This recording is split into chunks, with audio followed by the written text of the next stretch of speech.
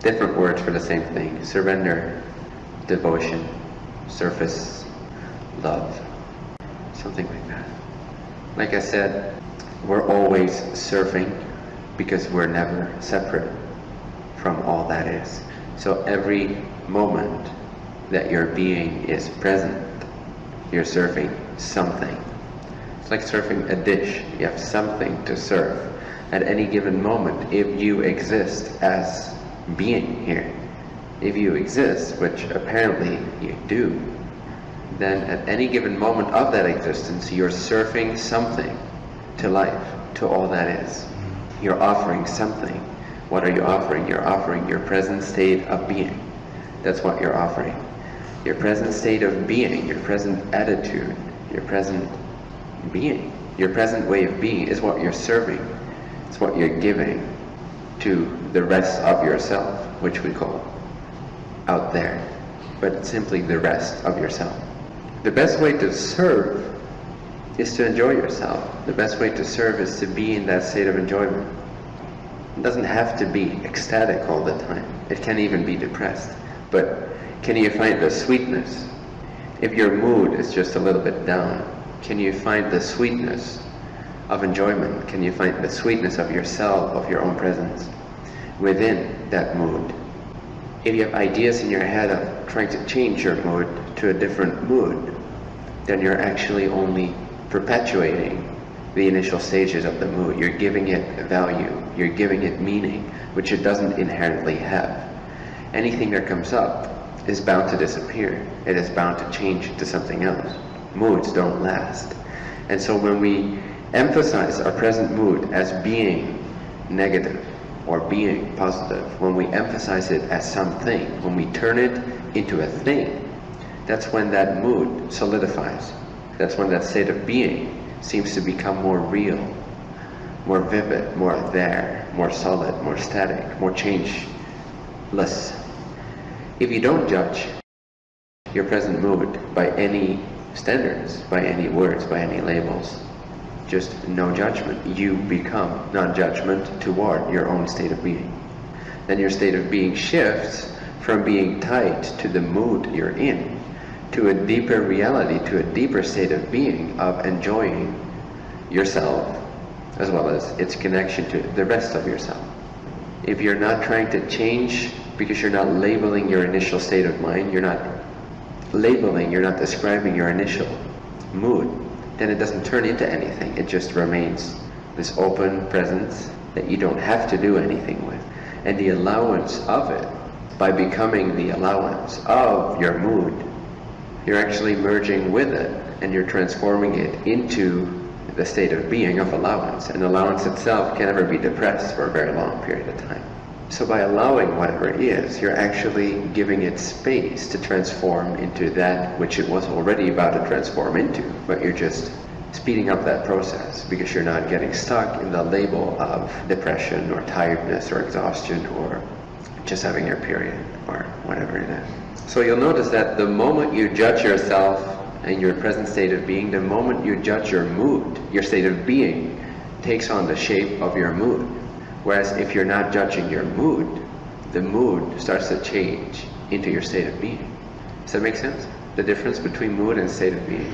So in the allowance, what starts to happen, what you start to realize, what you start to experience directly is that non-duality, is that inseparability, which is love. Love is the inseparability of all things, which is already the case. We can simply tune into that or not.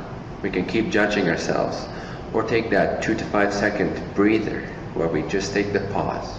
We stop the mind for a few seconds and we recognize in the space of awareness which remains, we see that our mood is already included. It's already allowed to be there, otherwise it wouldn't be there.